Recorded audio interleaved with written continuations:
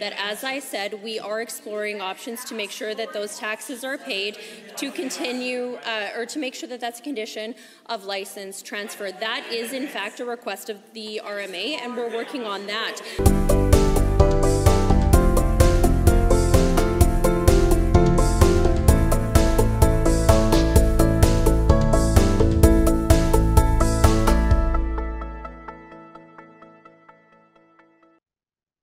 Welcome to a special edition of the Cross Border Interviews. I am your host, Christopher Brown.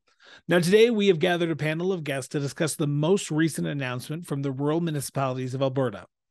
On March 7th, RMA announced that rural municipalities within Alberta are currently dealing with an overall unpaid oil and gas property tax burden of $268.5 million now, this is a staggering number, which has increased every year since the organization began collecting the data in 2019. In fact, this represents a 231.5% increase from the RMA's first member survey conducted in February and January of 2019. Now, to break down that number even further, in 2018, the RMA found that $81 million was owed in property taxes from oil and gas companies. In 2019, that number ballooned to 173 million owed, and the next year, 2020, $245 million was owed. Now, over the last two years, that number has also increased. Rural municipalities faced an additional 9 million in unpaid oil and gas property taxes, and in 2022 it increased again by 15 million, totaling 268.5 million in unpaid oil and gas property taxes. Now, according to the most recent RMA member survey, the average rural municipality is facing an average unpaid tax burden of 3.8 million dollars from oil and gas companies. This is a huge burden for small rural municipalities. Staggeringly, seven municipalities have unpaid tax burdens above $10 million from the oil and gas companies. This is an incredible amount of money that these municipalities are owed, and it is causing some significant financial strain. On the other hand, two municipalities have no unpaid tax burden from oil and gas companies, and an additional seven municipalities have an unpaid tax burden below $100,000. This disparity highlights the need for more equitable system. Now, it's worth noting that municipalities have written off 132 million in unpaid taxes since 2015. This means that municipalities consider these taxes uncollectible and will never recover this lost revenue. This is a staggering amount of money that could have been used for essential services and infrastructure projects. Still operating companies are responsible for 41% of these unpaid taxes from the oil and gas industry. This highlights the need for these companies to fulfill their obligation to the companies in which they operate. Now, despite these challenges, RMA members have tax repayment agreements in place with the industry for an additional 45 million in unpaid taxes. This amount is not reflected in the 268.5 million overall unpaid property tax burden. On March 8th, Heather Sweet, an NDP MLA for Edmonton Manning, rose in the Alberta legislature to question the Minister of Municipal Affairs, Rebecca Schulz, about the RMA's announcement. Sweet expressed her concern that some communities are forcing to either raise taxes or cut services due to the government's failure to address the issue. She asked the Minister of Municipal Affairs to explain why she has failed to address this growing problem.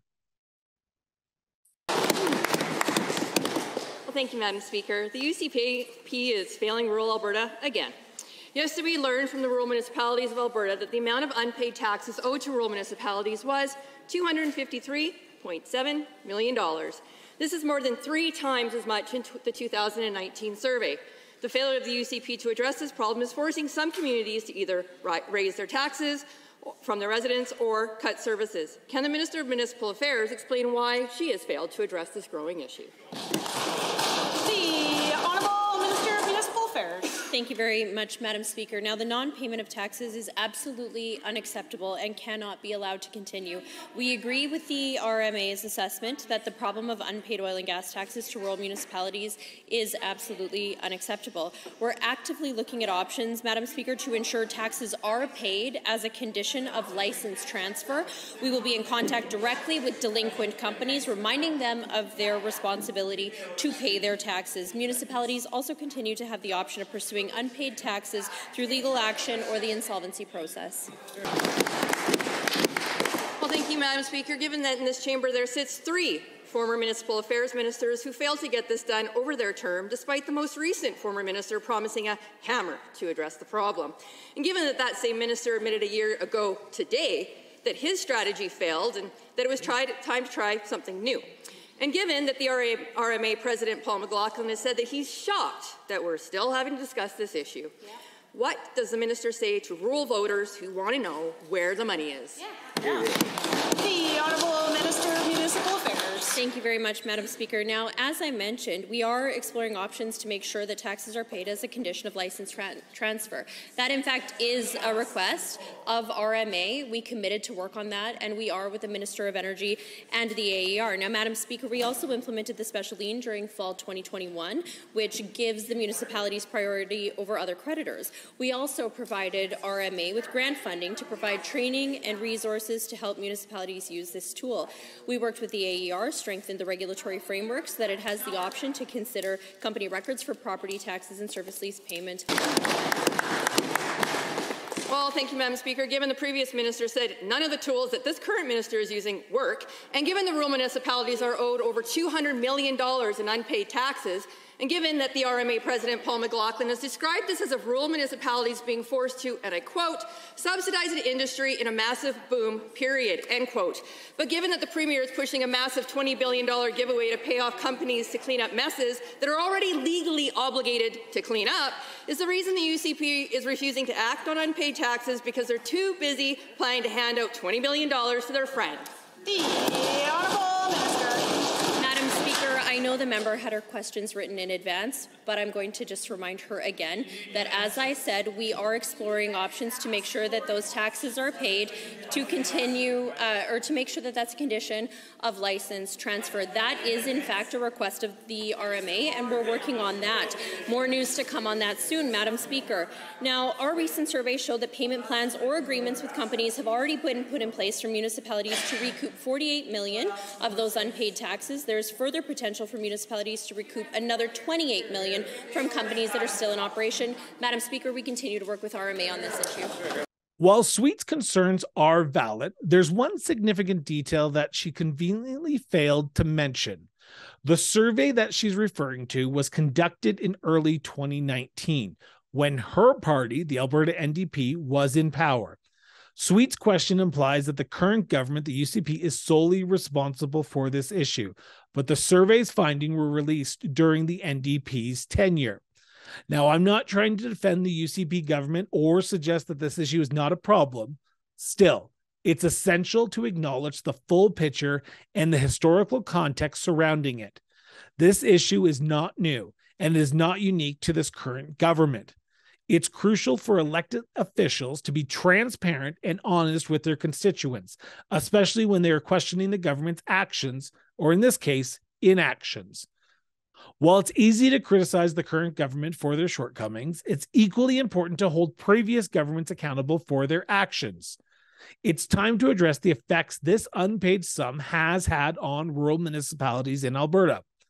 We are joined by rural leaders from across Alberta to discuss how this impacts service levels, communities, and most recently, their budget. We start off this conversation with Reeve John Burrows, who has been a long standing advocate for rural municipalities and is the Reeve of Woodlands County Council. In today's discussion, we will explore the impact of unpaid oil and gas property taxes on Woodland County, the challenges faced by these communities, and the solutions that are being implemented to address these issues. John, I want to start with the I think the biggest question that a lot of people uh, is on a lot of people's minds right now, and that is how has Woodlands County been impacted by this most recent announcement by RMA about the 268 million dollars of unpaid oil and gas industry property taxes? How has Woodlands County been uh, impacted? So there, there's a bit of a history when it comes to Woodlands County, and, and it actually starts back in 2016, 2017 is when we really started to see the rise in the unpaid oil and gas taxes. And then 2018 hit us uh, really hard uh, with nearly 4 million in unpaid uh, oil and gas taxes. And, and, part of that, then in 2019, we got hit with uh, the Trident bankruptcy and uh, municipalities were considered an unsecured lender. So that, that all became a, a real issue. Um, and I, that really triggered the whole thing. So as of as of 2022, we're sitting around uh, a million uncollected or so. So we're still we're still not uh, quite there, but we're getting better. So I just want to conf- just want to reiterate this because I just want to make sure I understood. You're saying that currently, as of recording this, Woodlands County has an outstanding balance from oil and gas industry property taxes of over 1 million or under 1 million just under 1 million. So to be precise, our total tax in arrears right now as of 2022 is 852,655. Okay. That seems like a large number no matter who you're talking to, whether it be a city or a county. What does that mean at the bottom dollar compared to impact on budget? Because I, everything comes down to budget, especially since you've just gone through the budget session this money, what would it have been able to go to in Woodlands County if it was paid properly?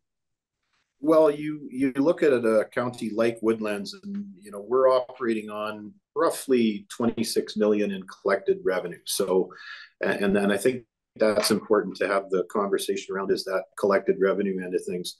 Uh, with that, we're looking after a landmass the size of PEI. We have two libraries to look after within our own municipality, four volunteer fire departments that all the equipment that goes with it, and almost 900 kilometers of road. Uh, we've got two hamlets with water and sewer in them as well. So there's a fair bit of infrastructure that you're looking after for that that uh, that amount of money, and it amounts to the the 800,000 is actually a, a really minimal amount compared to what we were dealing with in 2020, 2019, and 2018. Uh, in around there, we were 6 million uncollected in 18, 4.4 million in 19, and 2.85 million in 2020. So these were huge, huge impacts to the municipality. So as it, as it relates to us right now, um, in 29 let's go with 2018 originally when it kind of really started. That was 26.5% of our of our overall collected revenue was uncollected. Uh, in 2019 17.7% uncollected. In 2020 11% uncollected. Uh, all the way up to 2022 we're now at 3% 3.2% uncollected. So and and and that's that's really been a, a tough pill for us to swallow. So in in the third quarter of 2019, we we saw that things were going sideways, and we ended up having to introduce a five-year economic recovery plan. Um, our reserves had been expended through through these uh, things, and you also wind up in a cash poor situation where. In, in our formula, about one third of what we collect in revenue goes to the province in education tax. So let's say we're out six million dollars one year, one third of that, uh, two million needs to be paid to the province. So we didn't collect six, we have to pay two. We're eight poor uh, in in the cash end, and it, it winds up with a real uh, cash flow crunch. So we were lucky; we weren't on our debt limit. We were able to secure a good operating line of credit and work our way through that. But our five-year economic recovery plan basically resulted in a a three percent increase in revenue generation year over year, um, a 15% reduction in overall spending. That included uh, capital as well. We were capping capital expenditures at around three million at three million dollars annually, and then um, we were cutting staff. So we actually ended up cutting eight full time positions out of the municipality. I'm going to ask the stupid question right now, and I apologize right off the bat. How furious are you right now? Like, that seems like a lot 26.5% uncollected of your total operating, 17.7, 11, 3.2 each year you have had to deal and your council has had to deal with these shortfalls and that means people lose their jobs eight people eight full-time jobs had to be dispersed because of this uh, down this this unpaid tax. How upset are you? How furious are you at these companies? So so the the, the furious part actually comes in later and I'll, I'll i'll tell you that story. But um, and and I think when we when we talk about the you know the furious emotion, I, I think it's it's important that we also recognize that you know oil and gas is a huge um, a huge benefit that we have. Ener- Alberta Energy is is terrific. It's generally we're some of the most ethic- ethically produced oils and energy in uh, in North America, so in the world. And uh, and and this this discussion today is not about Alberta Energy. It's about a few bad actors and a few a few tough times that have uh, befallen the industry. We there was there was a lot of things that came together at, at one time. Um, but the reality is that we're in a different position now than we were before. Revenues are up at most of the oil and gas companies. Uh, natural gas is what triple tripled in, in value. So you know we're not seeing these these uh, declines in revenue that the companies were originally dealing with. Um, that's that's the the the part that really gets me is that you know there is a, a mechanism through the AER to deal with this, but at the moment there uh, there just doesn't seem to be the will. The the furious part though comes in around. So when Trident bankrupted, uh, some of their assets were broken up and sold off. When they were sold off, uh, we looked at license transfers and we contacted the AER and actually mentioned to them that hey, this company that's looking at purchasing this uh, now defunct company's assets uh, out of bankruptcy is has also not paid their taxes. And they said, well, that's not really our problem. So I, I don't know about you, but when I go to license a car or anything along those lines, they have a certain series of tick boxes. And if you haven't caught up on all your all your payments on on you know fines, fees, insurance, registration, all the rest of it, you're not you're not getting your license. So I do not understand the the, the structural issue around AER. I think it's well within their purview. Uh, they can they can certainly address it through the directives. Now, RMA has called for the AER to make some changes to how oil and gas industry uh, companies who are delinquent in their payments of property taxes to counties like yours to cease operation until they are up and running or till they uh, get back on their feet. Um, are you in favor of this move? And have you heard anything from the provincial government to let you? Sigh some sort of relief when it comes to a solution to this issue. And I say issue because it's an ongoing problem for municipalities like yours.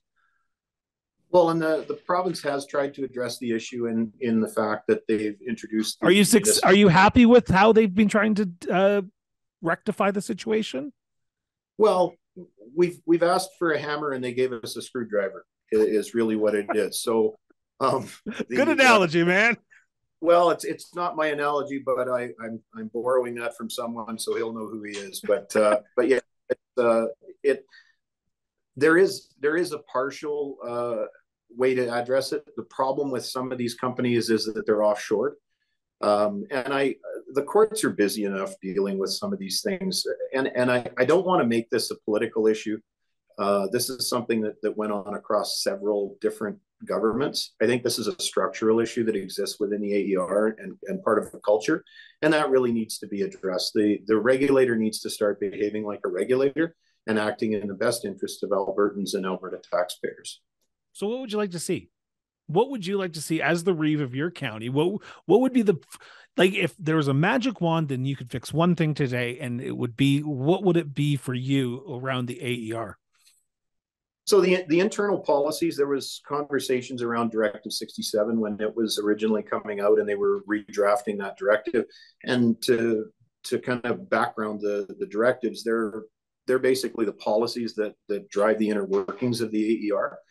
And I believe that the AER's current mandate actually would easily encompass the uh, just making a checkbox to make sure that municipal taxes have been paid. And I would even go one further in the fact that they have a conversation with the uh, Surface Rights Board and make sure that there are no no open uh, complaints on the Surface Rights Board because that's another component that we're seeing of this that I think can easily be addressed through the AER.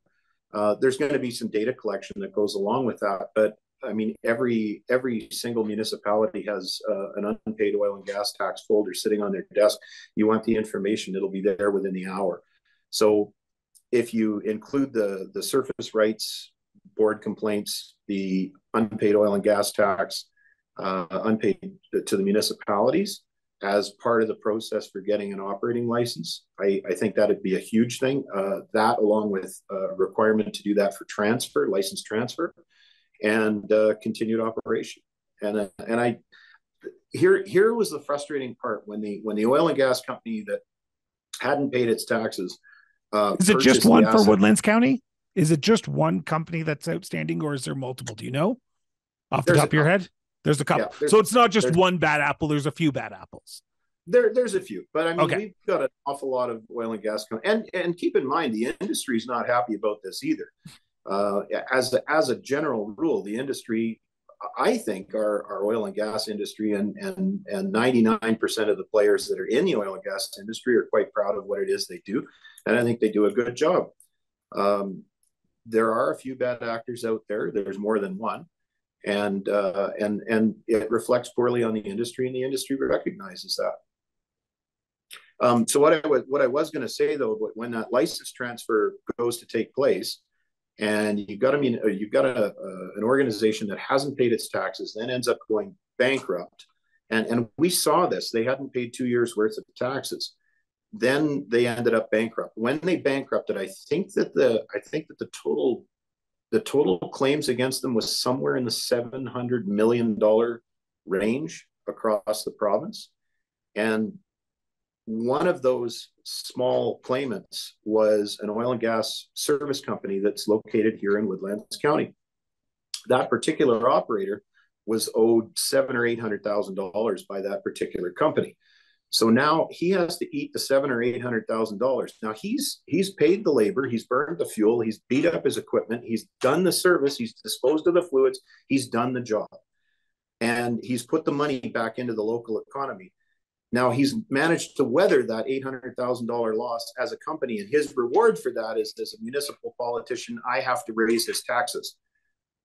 And I hated the, the idea of doing that because the the best i think one of the best indicators of whether or not a company is healthy is whether or not they can pay their taxes if they can't afford to pay their taxes they probably can't afford to pay their service providers if they can't afford to pay their service providers and they leave those local companies on the hook those local companies are the ones who partake in the community. Those are the ones that, that buy the hockey jerseys. They support programs like Community Lunchbox. They're actually involved in the community. When some of the large companies go bankrupt, the community hardly notices it. But some of the smaller service companies that are that are core to the community, those are are really important to small communities like ours. So this isn't just a municipal issue then. This is not a municipal issue that counties are just dealing with. This is some of the service providers for these oil and gas industries who aren't being paid, like that gentleman that you're talking about. And I can imagine as Reeve, it is a balancing act of trying to find how do we help our county, but also how do we help our residents and the people who have been affected by these oil and gas bad apples who aren't paying their bills.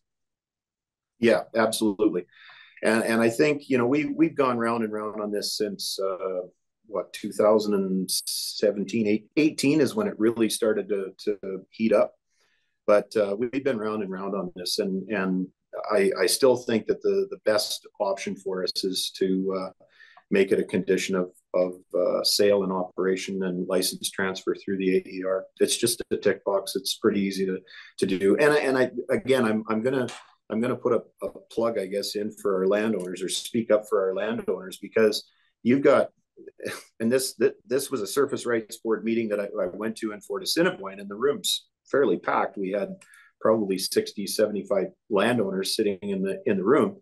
Um, they can't get through to make claims to the surface rights board because the surface rights board is absolutely slammed with complaints.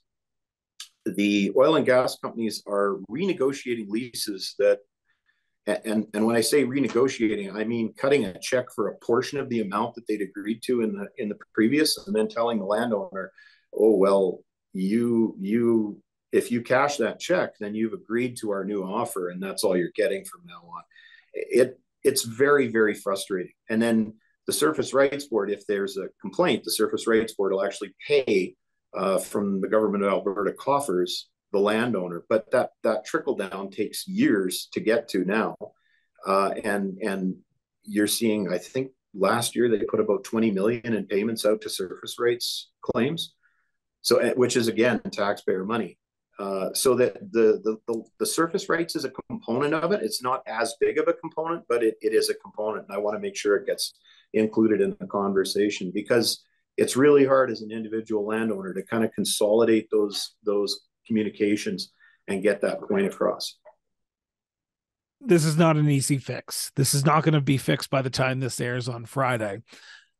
How do you, as the reeve of your county, move forward with one, two, three, four, almost five years of companies doing the same thing over and over again, and then the province, the AER, yourself hoping that something's going to be different every year. How do you move forward in a budget cycle that you have to plan for the future, but you don't know how much people are actually going to pay you at the end of the day if they get their bills? Well, and the one the one part that we did do, and I forgot to mention during our five year economic recovery plan, is if you if you can believe it, we have a three million dollar uncollected tax line in our in our budget. So we expect to not be able to collect 15, almost 15% of our revenue annually. What? And that, that is, uh, that uh, hold, hold on, hold on a second. You literally have budgeted. You have a line item budget in your budget that says we are not going to collect $3 million. So let's just not even assume people are going to pay this. That's on the doubtful account. You can't spend money you don't have in a budget. So if you if you assume that you're not going to get the three the three million, then you don't end up over at the end. Keep in mind, municipalities cannot run a deficit. So at the end of the year, if we if we end up overspending, uh, we're either taking out a high, you know, a, a, loan where we've overspent. We you can't you can't spend more money than you take in. Uh, uh, which is understandable. It's just weird that you're like you're uh, kind of being sincere, but jokingly saying, "Yeah, it's three million dollars here." Like I'm not trying to be rude here. It's just it seems such like a big number that, as a taxpayer myself, I would be pissed off. And I'm not trying to be rude here, but I'd be pissed off that if companies aren't doing this, that three million dollars could go to a new road, an upgrade for a service level. Like that's a lot of fifteen man, I can imagine your job's hard during this weird moment we live in right now. Yeah, it, it it's not it's it's definitely a, a difficult time to take over, but where we've addressed it, we're we're getting a good relationship with the the companies that uh, continue to operate. We're trying to maintain service levels. We have had to cut service levels around some particular things. We've and and the easiest place cut it out is on the capital side. So if you use kind of the municipal affairs funding model, we should be spending about uh, eight million dollars annually on replacement costs on uh, on the capital side. So that's repairing roads and and water and sewer and buying new equipment, all of that. Uh, we've limited that down to three million annually for the last five years. So we we do have a big repair that we had to take on this year that we're debenturing, but uh, for the most part, we stayed within that within that uh, amount. And and it's the I know the three million sounds like a lot, but uh, it it actually worked well for us in a budgeting thing. I, I I don't know how else to uh, how else to explain it. You you just can't count on the money that's not coming. How much have you had to uh, uh, uh write off? Because I can imagine, like past, because going back to I think it was 2018, RMA announced that municipalities like yours, I'm not saying yours exactly, but there has been a lot of write offs of uncollected property taxes from oil and gas companies and uh, property taxes in general. Has the county of Woodlands County had to write off any previously uncollected taxes that you just say we know we're never going to get? Yeah, absolutely. And and the part of the reason why you have to write those off is part of the uh, the PERC program, the, the Provincial yeah. Education Recovery uh, program. So once those taxes are written off, you can recover back the uh, the school amount, which, as I said, was for our municipality. I used a rough formula of around one third, um, but we wrote off twelve million dollars. What would you want residents to know of Woodlands County or in Alberta as a whole that we haven't talked about yet? Because I can imagine we have just scratched the surface of this issue, but there's probably a, something that you want people to know about. Well, there's a there's a couple of things I think. Um, you know, one the one thing is that the and, and I know the the province is worried about some of these things falling into the the Orphan Well Association, and they're they're worried about the the spillover that occurs from these these types of things. But uh, leading these or, or letting these companies continue to operate, I think, in this environment, uh, I don't think it, it, it might sound harsh, but I don't think it benefits anybody to let that horse limp around that long because when these companies start to go down, as I said, they act like a gravity well and they start pulling in healthy companies that are local companies into them. And and I I really don't want to see that. And it's hard as a as a small business operator it's you're spending most of your time trying to figure out how to provide your service to your customers and how to do your accounting and how to how to continue operating year over year. You're not really paying attention as to the background on the companies that you're dealing with. You're kind of assuming that they're going to pay their bills. So you uh, you have a difficult time collecting that as a small business operation. Uh, that that's the biggest thing. Uh, oh, and the other thing is that the liability at the moment doesn't follow the the uh, the asset. So with the with the decision from the from the courts, um, let's say we let's say we have a piece of property bankrupted in a in a small town, and that building is worth a million dollars and every year that it sits empty, it, it accrues $20,000 in taxes and then another 20,000 in taxes and then another 20,000 in taxes. And it sits there empty for three years. Um, that tax bill ends up getting attached by the municipality to the sale price of it. And whoever ends up coming in to buy it buys it at, you know, the, the purchase price might be a million dollars, but they'll say, well, you know, it, it, it's owing 120,000 in taxes. I'm not paying a million for it. I'll, I'll reduce that by 120,000. That's what I'll give you. And the rest of it goes in taxes. That doesn't happen on the, on the well site end. So when these, when these companies sit dormant, um, we're still running like that. It, it's, it's a difficult one because we can't, we can't get the, uh, we can't get the back taxes collected. So, how does the acquisition of new wells relate to municipalities? Because I can imagine when you're a municipality having an oil and gas company who can't pay their taxes and then is acquiring new assets to then produce more money for their companies by not paying you is probably cringeworthy in some sense to say. Well, you, you're pro you're willing to not pay your taxes, but you're willing to go buy more land to produce oil and gas. Yeah, and, and as a business model, I mean the the reality is you want to buy low and sell high, right? So what what they're doing is you'll you'll get an organization or a company that'll say, well, you know, we're really not making much money off of oil and gas right now. We can't afford to pay our taxes, but hey, there's this well site over here that we'd really like to acquire these series of properties. Um, with allowing the license transfer to happen, what what the AER is actually doing is they're using the Alberta taxpayer, or they're allowing that company to use the Alberta taxpayer as the bank to finance the purchase because they've got they've got a loan from the municipalities that are not getting paid in tax revenue uh, because there's no mechanism to to get them to collect. So that's a, a, a real problem for uh, for Alberta taxpayers to be on the hook for funding the expansion of oil and gas companies that are that are that want to operate that way. And as I said, it it, it this all boils down to a, a, a way of doing business for a few bad actors. Do you talk to the bad actors? do you because you talked about how the, they'll go to the province and ask for uh transfer of licenses and all that but will the companies come talk to Woodlands County and say, guys, we understand that you we owe you money for property taxes, but we just can't do it this year because our revenue is low. And you know, we we've had conversations with some companies that come, um, and we've like whatever we do for one, we we do for all.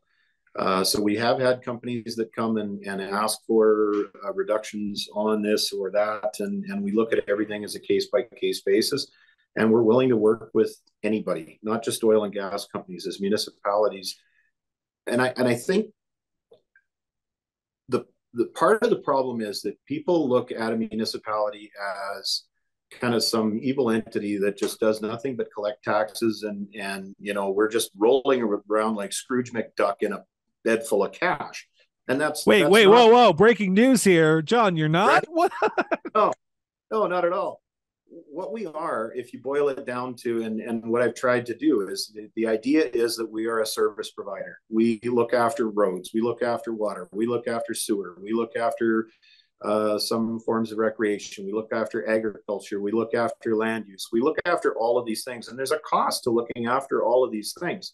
We communicate with residents, we try and have conversations with everybody and try and set service levels uh, at an area that they're comfortable with paying for and try and do the most efficient job that we can with the money that we have. That's our job as a municipality. So when you look at, at us as being little more than a service provider, and and then people feel that they don't need to pay, well, you're going to start losing your service, and that's the problem. Is that we uh, that's the situation that we're in right now.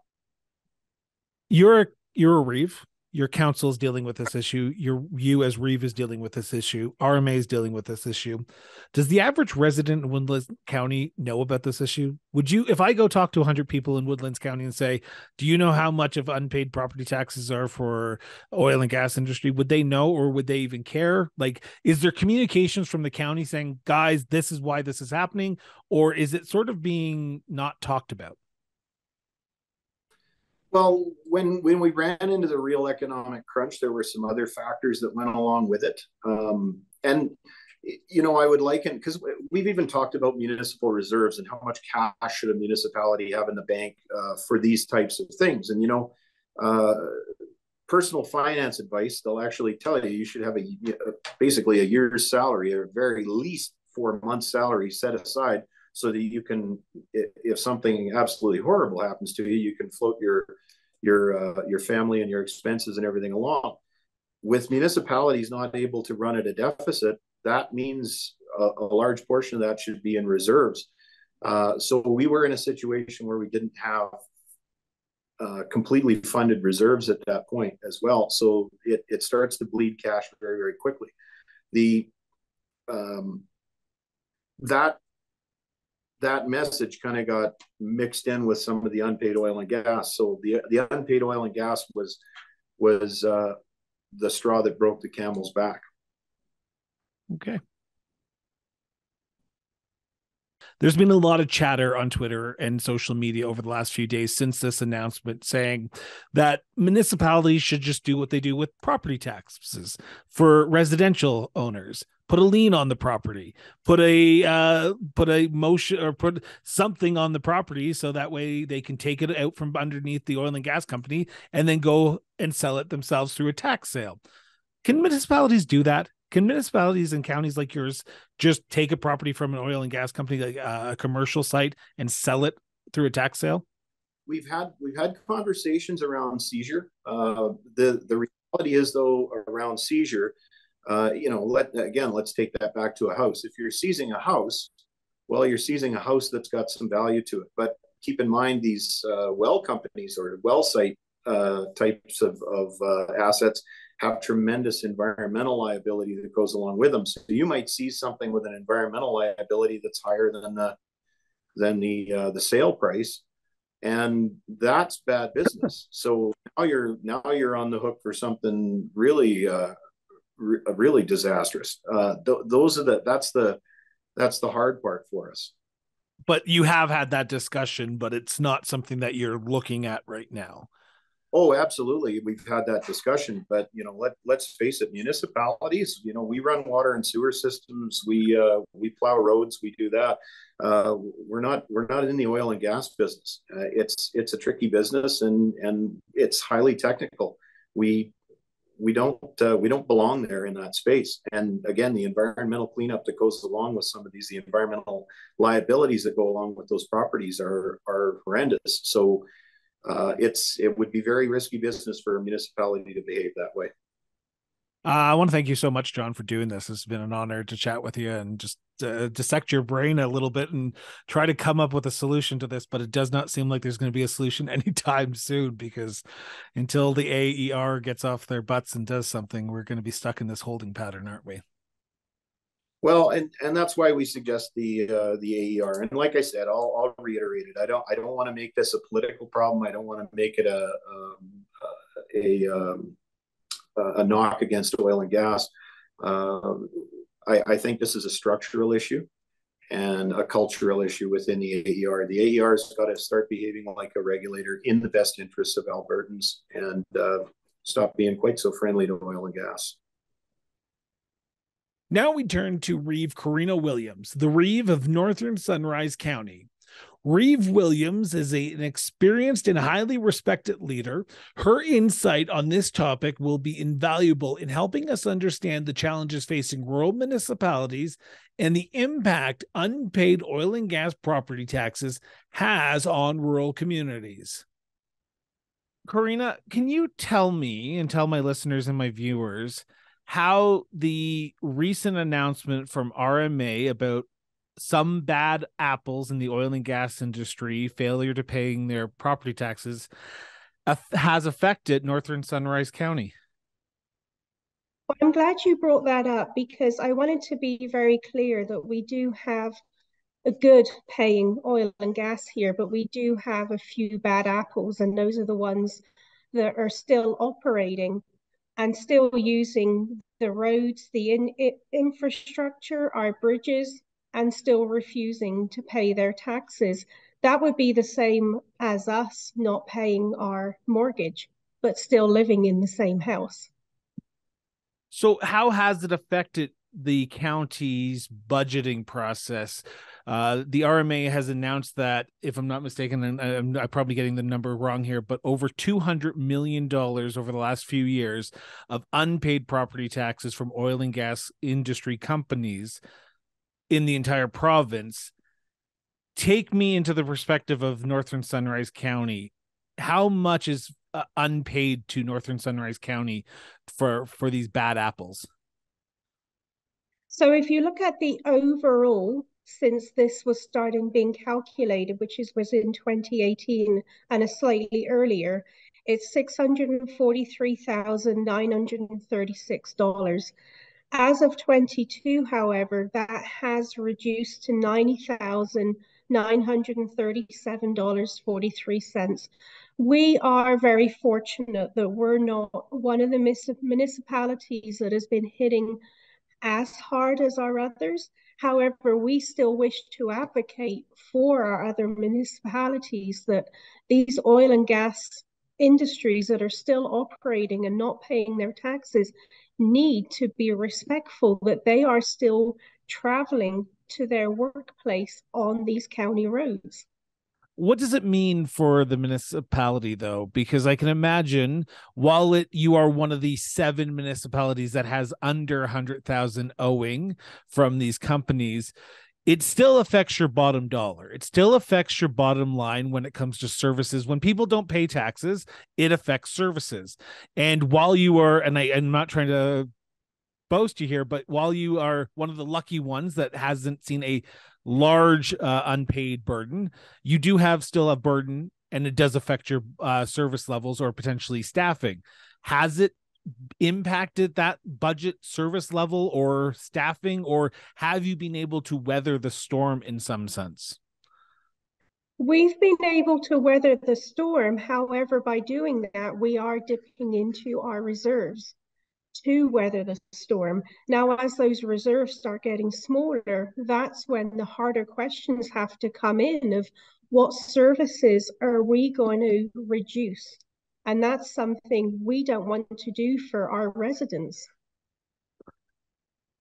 What's next? What happens now? Because the RMA has put out this press release saying that they want the AER to uh, stop these bad apples from operating until they f- fulfill their bargain of paying their property taxes. Until the until that happens, or until the provincial government does make changes, how does counties like yours and others throughout Alberta weather this unprecedented storm? Well, again, as I've said, we're one of the more fortunate ones. However, those ones that are not as fortunate as us, they've got some real difficult decisions to make. And I, I really feel for them the government is not supporting us. They're they tend to be supporting AER in a way that they're not coming behind us and saying there's a simple solution here. Don't allow another company to have another license when their uh, taxes are outstanding. It's a simple no brainer to us. We just don't understand why the government is not picking up that simple method and this isn't this isn't something that just is unique to this current government. This issue's been going on for some time now. From what, uh, when I talked to the county, the reeve of the county of Woodlands County, sorry, I always get those two words mixed up. He said that this is not a, a, a unique issue to this time and date. It's just we're starting to see it more prevalent now because of these member surveys that RMA is conducting. Oh, absolutely. And when you look at their when you look at the fact sheets for these bad apples, Who's getting paid still? The shareholders. Our biggest question is why are the shareholders getting paid when the municipalities are having to reduce their services so that they can keep operational to keep their staff going? This is just wrong we always think of uh, issues like this as as a municipal issue, but we have to remember that sometimes these companies do business with companies within your community. They may be working with a small pipe fitter, they may be working with the mom and pop shops in your community. Have you been hearing reports from your local businesses and local community members saying, while you're not getting paid, we're also not getting paid as well. And we need someone to champion this issue because we still have to pay our mortgages we still have to pay our property taxes and we want to be upstanding members of society.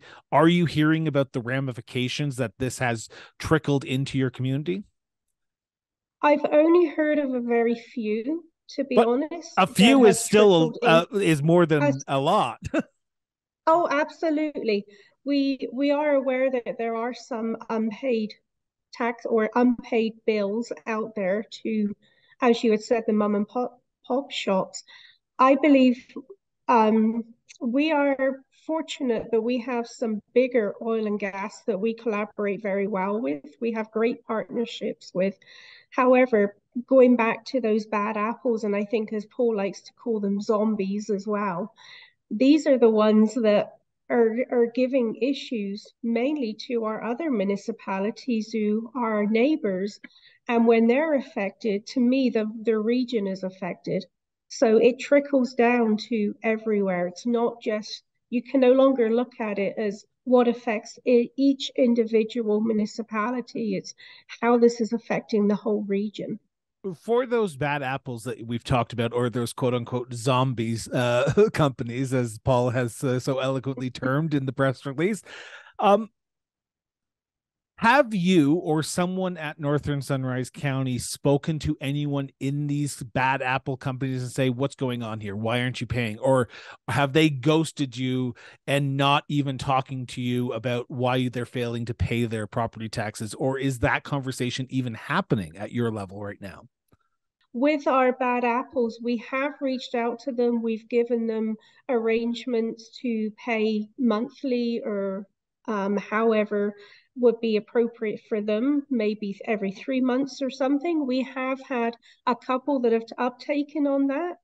And if they've paid on time within the month or within the status that we've given them, which is usually a year, then we will work out on the interest side of that as well to give them try and give them some help there so we have had some that have taken up on that and we've been able to resolve that there's um, some that we've never heard from again because obviously they've closed up and and left we are in a uh, an era of unknown we're going into a provincial election and this issue while it's important in March of 2023, May 2023 might be completely different. How do you see your role as Reeve of Northern Sunrise County? making sure and along with RMA making sure that this issue isn't forgotten about come election time and you hope to get an answer from all the political parties that are out there that's where our key application role is so when we're at RMA we have the bear pit session we have opportunities to speak to the ministers when they're in the open foyer. Any chance we get, that question keeps continually being asked. Are you is, satisfied with what, the answers that you've been getting? No. I can honestly answer that very easily that no. The the government so far has been letting all municipalities down in not fixing the simple licensing agreement, which would be easy to do. We're not asking the provincial government to collect taxes for us, which is something they tend to want to turn around to municipalities. We're not asking that. We're asking, and the same as Paul at RMA, it's, it's stated, if it shows on the books their taxes are unpaid, why are they getting another license to work again? Now, I, am I, I, hate to ask the political question because, uh, I'm not trying to put you on the spot here, but I want to ask it anyway.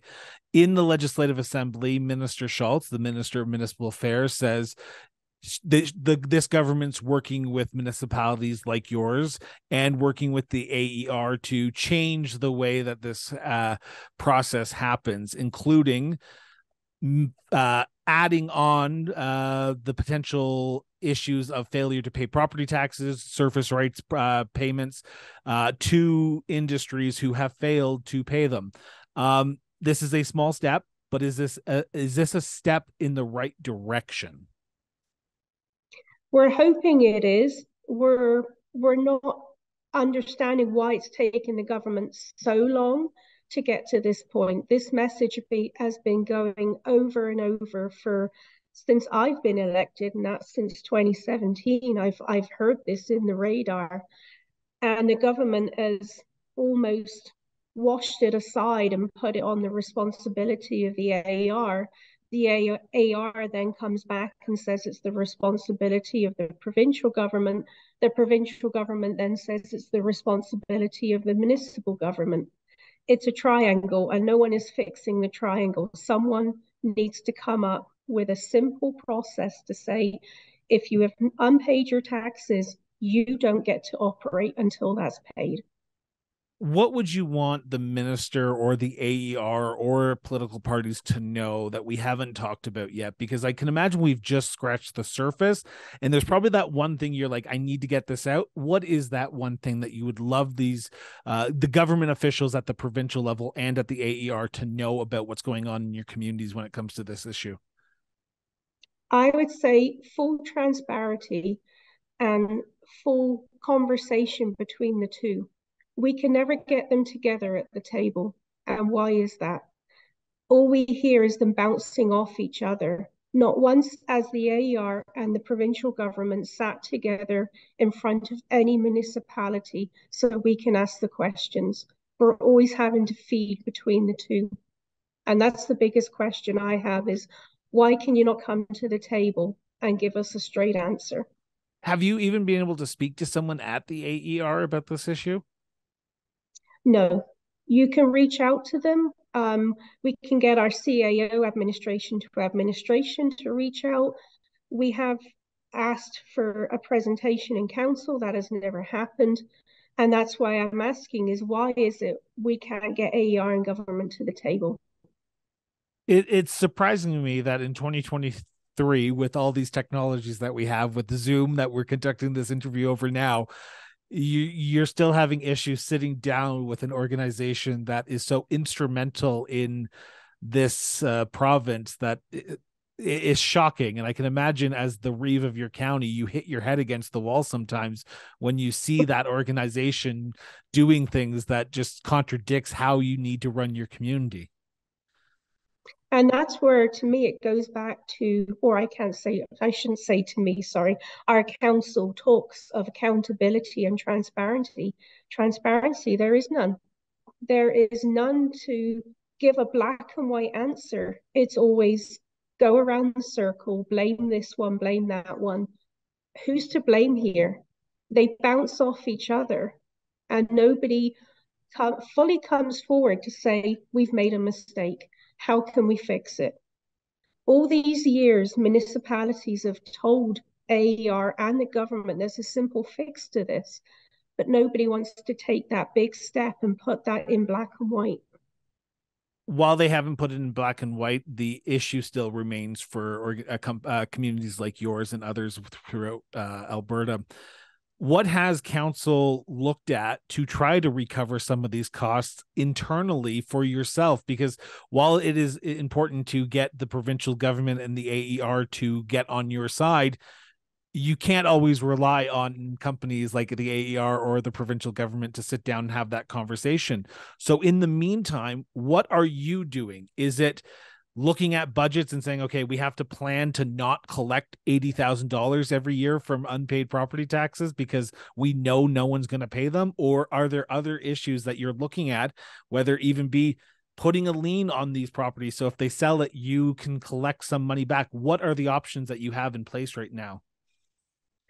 Right now, our options legally are very weak, and that's our biggest loophole. That is the saddest statement I've ever heard. I apologize, but they are yeah. weak, and you're being honest about that, and I can I totally believe you on that statement. Yeah, we we have nothing that we can chase down, shall we say, to collect these taxes, and that again is down to the provincial government and the AR not putting those those tools in place for us. Rural Albertans, I can speak confidently for all of us is we're fiscally responsible. We're always very careful with our budgets. Sometimes we may have to transfer from one year to another of a project that we're looking to do. Maybe we bump it another year to see if that following year our funds change again, that we're in a more of a positive state. As I've spoken to you before, we're one of the fortunate ones However, I, I'm very aware that there are municipalities that are in a crucial crucial state of finances and municipalities cannot run as a deficit. Yet an oil company can. And when i think of our residents the first thing a bank will do is foreclose if they don't pay their, their mortgage. Yet these zombies and um, bad apples can continue. And where where is the process in that? Why is it being allowed when you look at their books and their shareholders are still receiving their funding? Reeve Williams, I want to thank you so much for doing this. Um, I want to end on this question though, because you you set up a good point to your last statement there do the does the average person in northern sunrise county and i know you're one of the fortunate communities do, does does the average resident know what's happening when it comes to these bad apples? Do they care? Because i am not trying to be rude with that statement. I asked uh, john burrows this question as well. Would would the average resident know that there are issues with bad apples in the oil and gas company who aren't paying their property tax, taxes which then result in issues around budgeting. While it may be small for you, it's larger for other municipalities. Yes, we have. Been, we've been very transparent with our residents.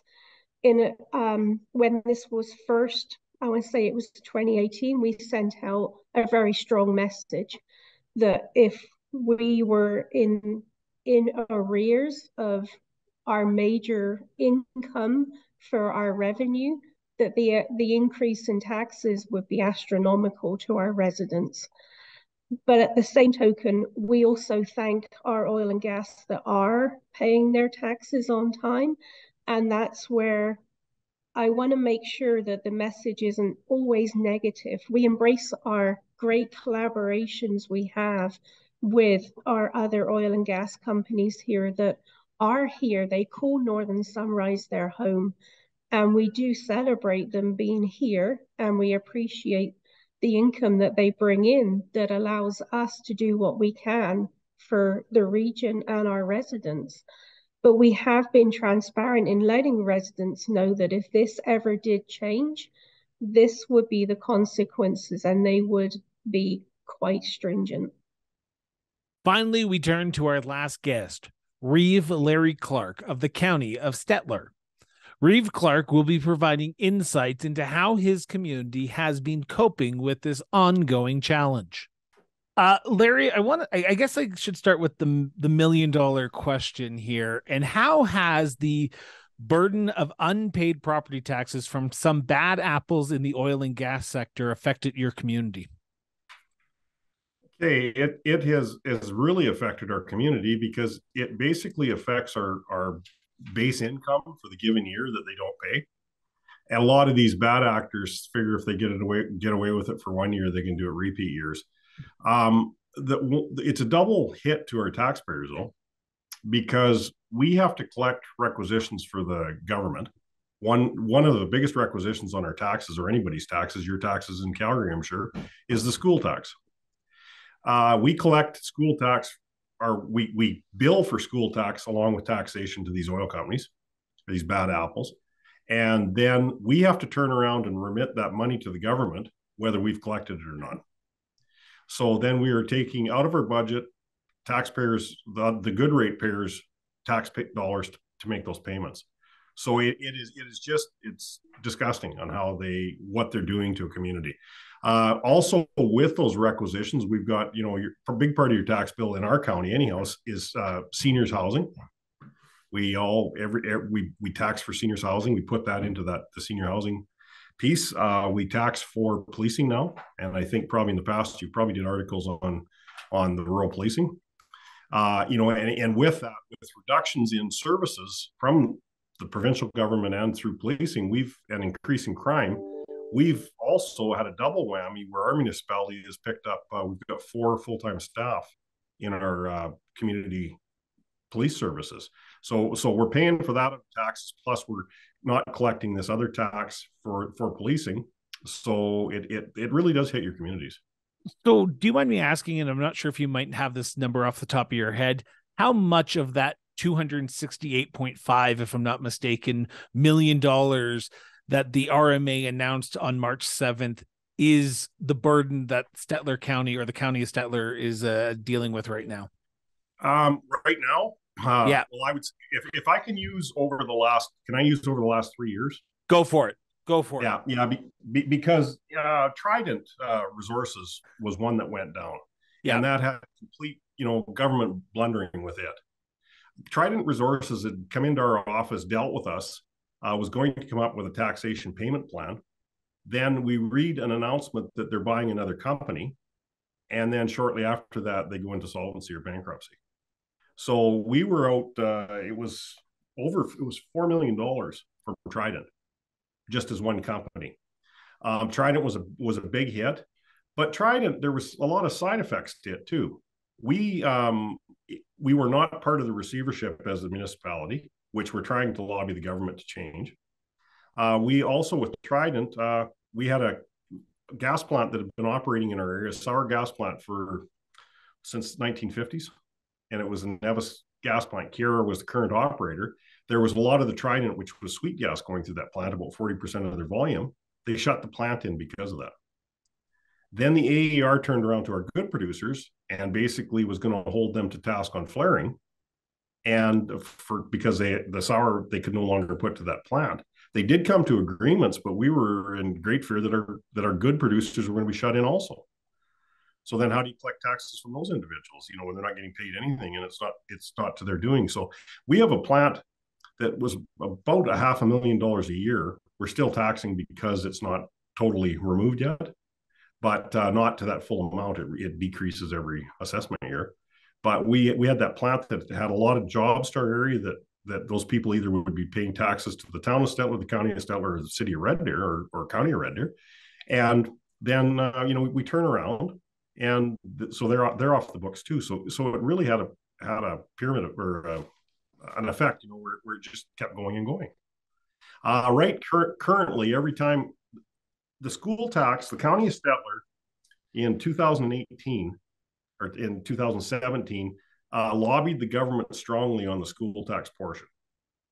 And they came up with what's the, you know, the short name for it, or the acronym is PERC, which is Provincial Education Requisition, Requisition Repayment. Re- repayment.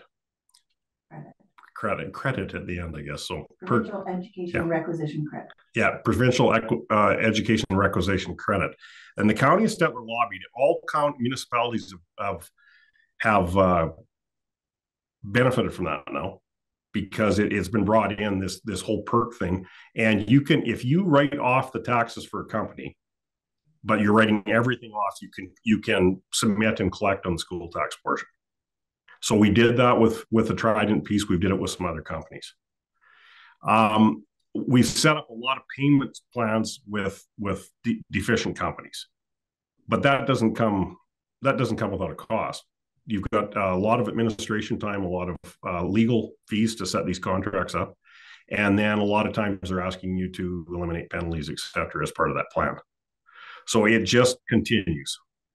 You, so, uh, I just want to jump in here for a second because I want to know. Uh, you've just gone through your budget cycle, which I'm assuming the county has started early last year, and it's either approved or ha- is going to be approved uh, in the coming days. How yeah. has this burden challenged the budget cycle for the county? Is it harder to budget when you have companies three years ago, even not paying $4 million in property taxes?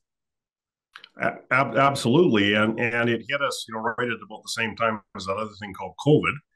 Uh, so, so you have a lot of people that weren't, you know, we were having to pick up our tax rates to people that were sitting at home because their you know their jobs were in jeopardy because everything was being shut down because of COVID. So yes, it, it did affect really affected our budgets because we tried to get through those years with minimal tax increases. Um, you know, and right now the county of Stettler operates. We we have 2,700 kilometers of road. One of our biggest expenses, our biggest expense is public works, and most municipalities are. And uh, but you know, graders, graders are a huge expense to any county. So we've got we've got graders. Uh, we've got about 16 on our fleet, and uh, a grader. We bid graders out years ago. I when I say years ago, three to four years ago, and replaced four on our fleet. And uh, the prices come in almost double on those now. We just are putting bids out as we speak. So that shows what's happening to everybody else's budgets too.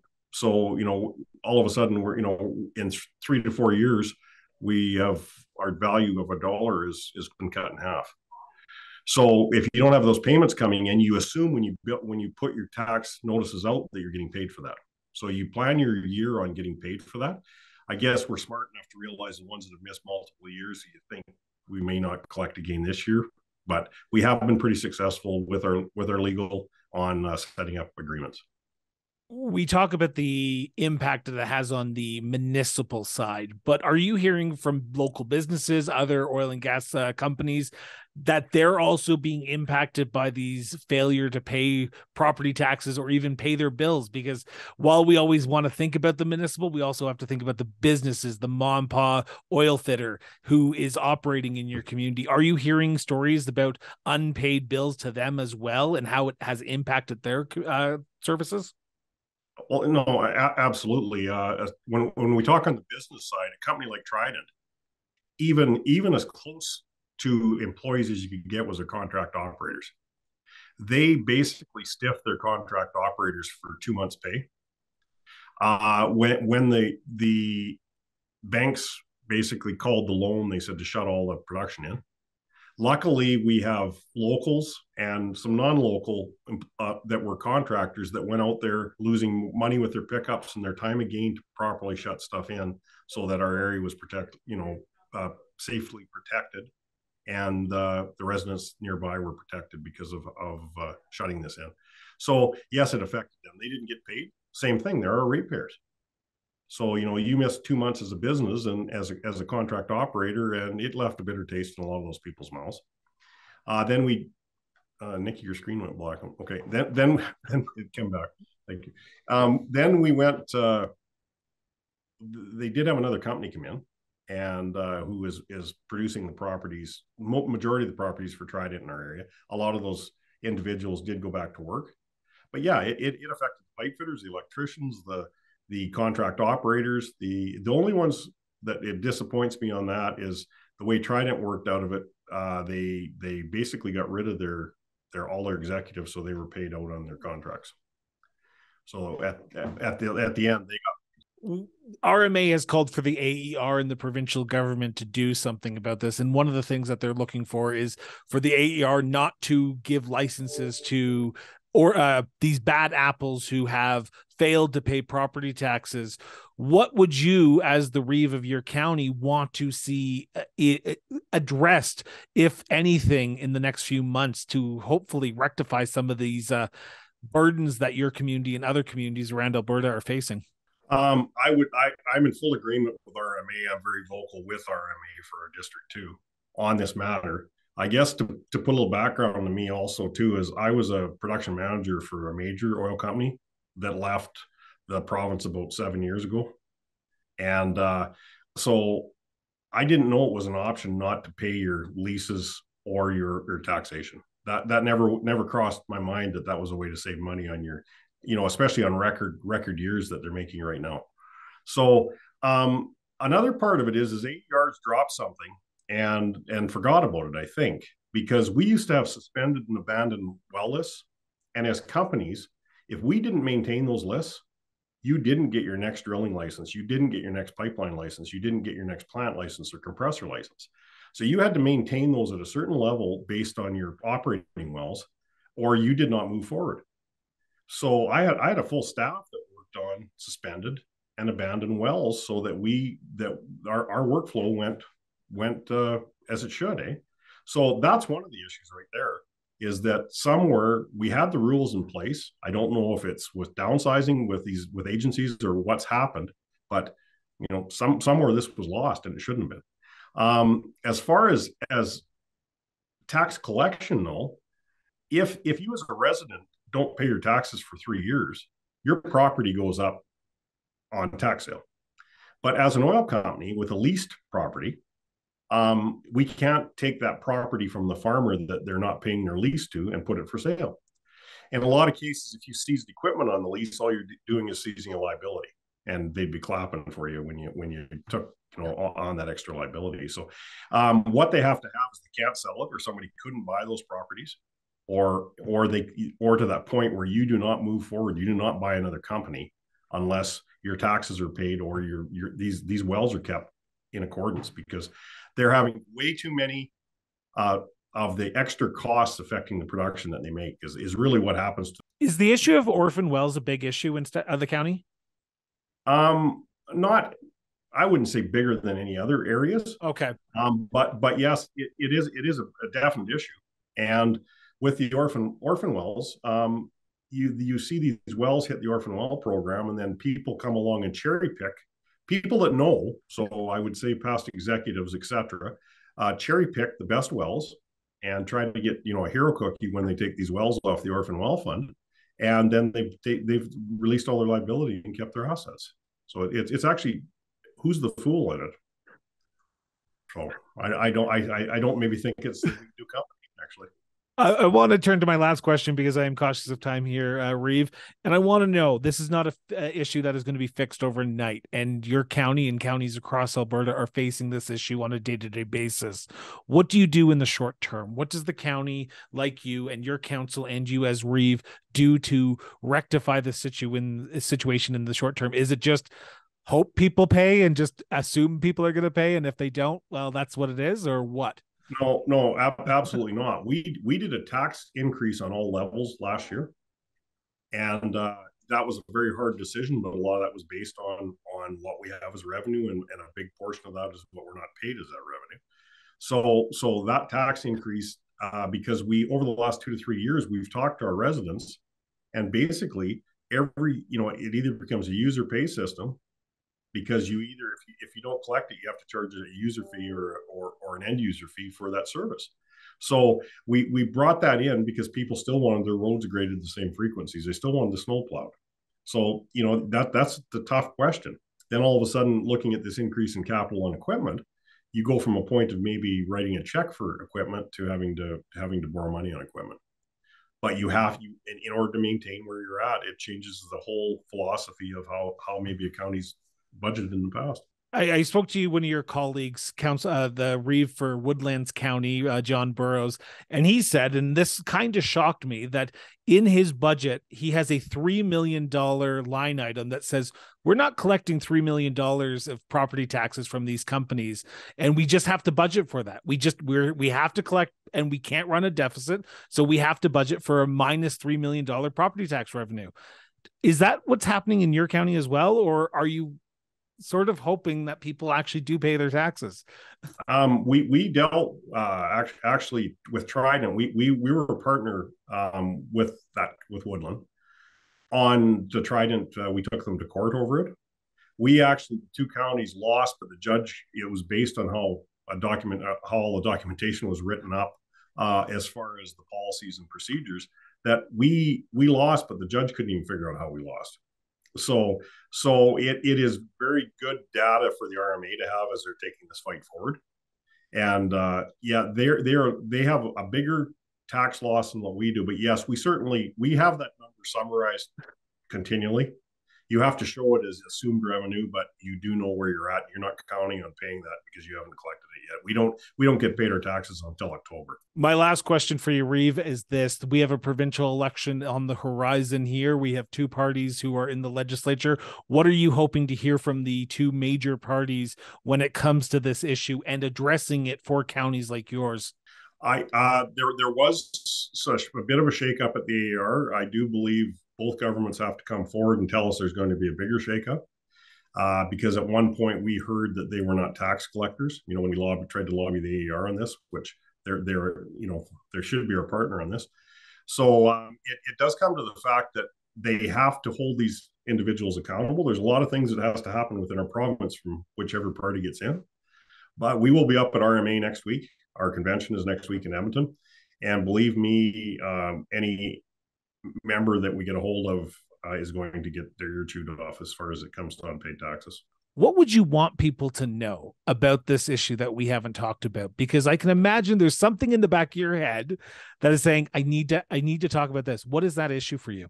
Um, that issue is, is we have a we have a lot of companies and a lot of I would foreign investment within our province that feels they don't have to pay their fair share to take that energy out of our our our province and that I guess revenue out of our province. They don't have to they don't have to they don't have to pay what it should cost them to do it. They use our roads, they use all our facilities, um, and they use everything within the Alberta. They're they're, they're really not just the municipality they're after. It's it falls back onto our whole taxation public. So I guess to say to people, we we want we want to grow within the within our municipality, but as far as these people, um, we don't want people like that in our communities because they're not community minded. They're not part of your community. They're just basically, I would say, a leech that's sucking revenue out of our communities. So uh, that's what I'd like to say, and I hopefully we never run into another Trident again because that's uh, that was that was very devastating to a lot of our municipalities. Despite recent amendments to provincial legislation, the issue of unpaid oil and gas property taxes remains unresolved in Alberta. The Alberta government has provided, though, municipalities with tools to use for unpaid taxes, giving them secured creditor status in bankruptcy proceedings. The Alberta regulator was also given the option to consider property taxes and surface lease payment records when assessing risk levels. However, these changes may not have been effective in resolving the issue, as you heard today from our guest. As a solution, RMA suggests that the AER should prohibit any company in arrears on property tax or surface leases from operating. By doing so, the regulator could prevent companies from continuing to extract and sell oil and gas resources when neglecting their financial obligations to municipalities. Rural Municipalities of Alberta President Paul McLauchlin stated in the March 7th news release the lack of regulatory framework and accountability has allowed poorly regulated companies to continue operating, leading to a burden on rural municipalities. McLauchlin also accuses the AER of supporting zombie companies by failing to address the impacts of poorly regulated companies that eventually fail, leaving municipalities to bear the costs. The RMA president's statement highlights the ongoing struggle between municipalities and some bad apples in the energy industry in Alberta, particularly in rural Alberta. Hours after the RMA released their press release, Alberta Minister of Municipal Affairs Rebecca Schulz released a statement indicating that the Alberta Energy Regulator will have an essential role in resolving the ongoing issue of property tax and surface lease payments. The minister's statement may be seen as a positive development for rural municipalities in Alberta who have long called for solutions to this issue. Now, at the time of publication, Thursday, March 16th at 5 p.m., the AER did not respond to our two interview requests on the topic of the oil and gas industry failure to pay property taxes and the request by RMA to prohibit any company in arrears on property taxes or surface leases from operating. While this is an ongoing situation and rural municipalities will need to address these issues raised in today's show, with the upcoming provincial election, all political parties will need to address this issue to ensure rural municipalities aren't left holding the burden of some bad apples. This has been a special episode of the Cross Border Interviews with Chris Brown. Thank you for tuning in, and remember, just keep talking.